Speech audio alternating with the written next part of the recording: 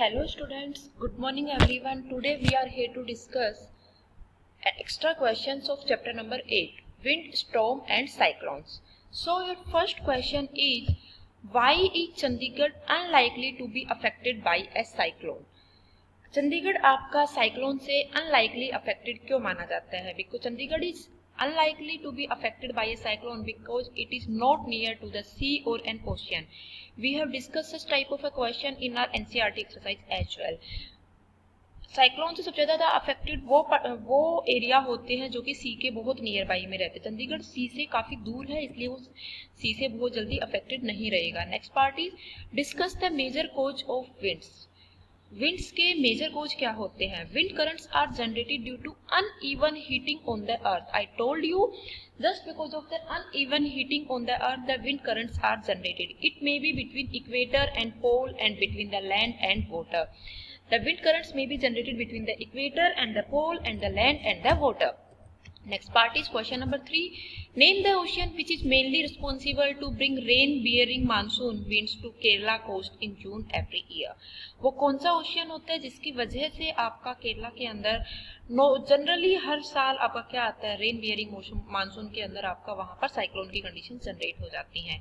And Indian ocean is mainly responsible to bring rain bearing monsoon winds to Kerala coast in June every year कौन सा monsoon होता है? हिंद महासागर Indian ocean now your next part is question number four briefly describe the effect of heat on air pressure heat का air pressure के ऊपर क्या इफ़ेक्ट होता है? You have to describe that point so the heat causes air to expand and occupies more space it becomes lighter that's why warm air is lighter than cold air आपका जो warm air है, वो lighter होती है cold air है, वो ज़्यादा क्या रहती है आपकी?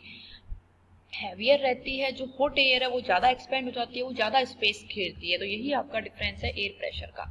नेक्स्ट पार्ट आता है for example to expel hot air out of a kitchen आपको अपनी किचन से हॉट एयर को बाहर निकालना है। A has exhaust fan fitted on the window of her kitchen and B has a similar exhaust fan fitted on the wall near the ceiling of her kitchen एक ने window के पास में लगाया है, एक ने सीलिंग के पास में लगाया है। Which of the exhaust fan will expel the hot air more effectively कौन सा एग्जॉस्ट फ़ोन फ़ैन आपका मोर इफेक्टिवली हॉट एयर को बाहर एक्सपेल करेगा। और बताओ क्यों? वाई एक्सप्लेन वाई बिकॉज़ जो आपका ऊपर रहेगा, जो आपकी हॉट एयर रहती है, वो राइज अप कर जाती है।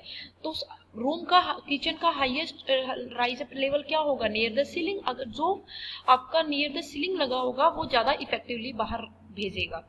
These exhaust fan will expel the hot air more effectively because hot air rises up and the fan is at greater height than edge these are some questions related to your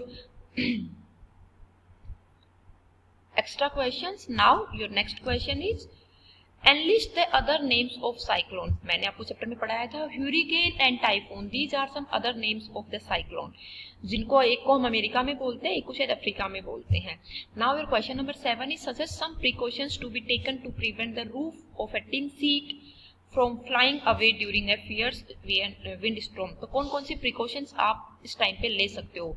Put heavy stones on it आप उनके ऊपर heavy stone को रखो ताकि वो नीचे से air pressure उनको लगेगा तो वो उड़ेंगे नहीं। स्क्रू इट टाइट उनको स्क्रू से भी आप टाइटली क्या कर सकते हैं? बाँध सकते हैं।